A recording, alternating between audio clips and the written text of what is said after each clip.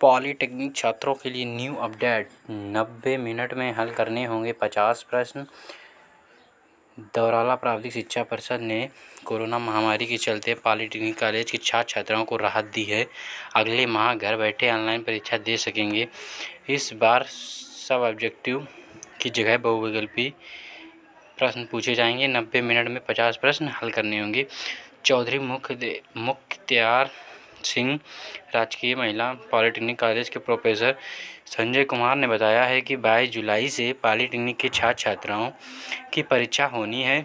तीन दिन पहले सचिव प्राविधिक शिक्षा परिषद ने आदेश जारी किए हैं कि इस बार परीक्षा ऑनलाइन कराई जाएगी। छात्र छात्राएँ घर साइबर कैफ़े या संस्थान में जाकर लैपटॉप, मोबाइल या टैबलेट के ज़रिए परीक्षा दे सकेंगे। परीक्षा में बहुविकल्पीय प्रश्न होंगे। छात्र छात्राओं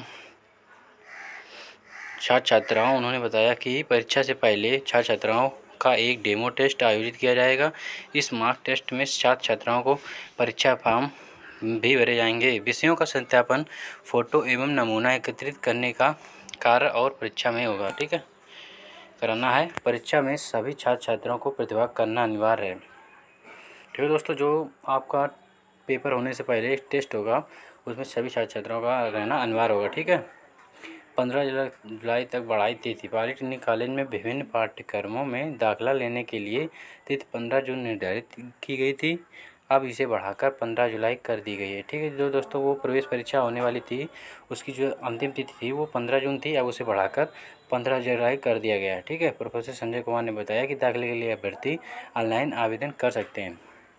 दोस्तों, ये वीडियो आपको अच्छा लगा हो तो इसे लाइक करना और ज़्यादा से ज़्यादा अपने दोस्तों के सामने शेयर करना, जिससे कि इससे जुड़ी ये बहुत बड़ी अपडेट सभी बच्चों तक पहुँच जाए। ठीक है दोस्तों थैंक यू